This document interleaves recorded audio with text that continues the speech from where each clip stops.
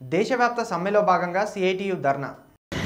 మోడీ ప్రభుత్వం అనుసరిస్తున్నటువంటి కార్మిక ప్రజా వ్యతిరేక విధానాలకి నిరసనగా దేశవ్యాప్తంగా కేంద్ర కార్మిక సంఘాలు అట్లాగే ఉద్యోగ సంఘాల ఆధ్వర్యంలో దేశవ్యాప్త సమ్మె తలపెట్టారు.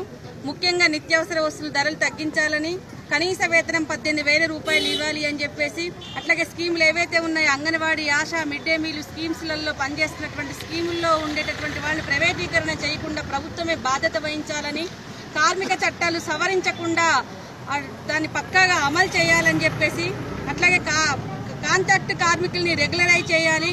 కనీస వేతనం పద్దెనిమిది వేల రూపాయలు ఇవ్వాలి పిఎఫ్ పిఎస్ఐ సౌకర్యం కల్పించాలని చెప్పేసి ప్రధానమైనటువంటి డిమాండ్ల మీద దేశవ్యాప్తంగా సమ్మె జరుగుతుంది.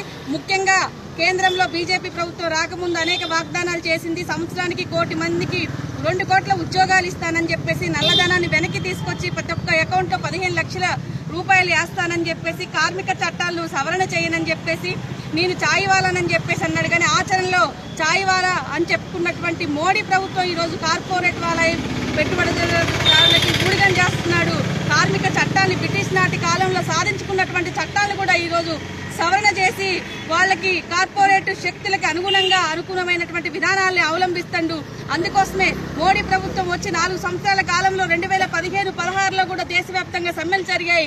రెండు వేల పదిహేడులో కూడా చెలో ఢిల్లీ కార్యక్రమం లక్షలాది మంది కార్మికులు ప్రజలు ఈరోజు వెళ్ళి నిరసన వ్యక్తం చేసినప్పటికీ కూడా ప్రజా వ్యతిరేక విధానాలు అవలంబించడంలో కానీ వెనక్కి తగ్గకుండా మరింత దూకుడుగా ఈరోజు ప్రభుత్వం విధానాలను కార్మిక వ్యతిరేక విధానాలను అవలంబిస్తుంది ఆ దూకుడికి కళ్ళు వేసేందుకు. ఇప్పుడు మార్చిలో ఏప్రిల్ నెలలో ఎన్నికలు రావడానికి ఈరోజు ఎన్నికల్లో మళ్ళీ నన్ను గెలిపించండి నేను ప్రజాసేవ చేస్తాను మీకు ఆమోదయోగ్యమైనటువంటి విధానాలు అవలంబిస్తానని చెప్పేసి ఈరోజు నంగరాజు కబుర్లు చెప్తున్నాడు.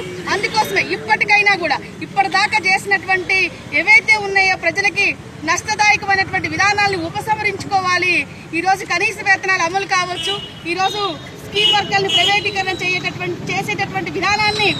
వెనక్కి తీసుకోవాలి వెనక్కి తీసుకోకపోతే రాబోయేటటువంటి వెన్నికల్లో తగిన బుద్ధి చెప్తారు కార్మిక వర్గం అని చెప్పేసి సిఐటి తరఫున హెచ్చరిక చేస్తారు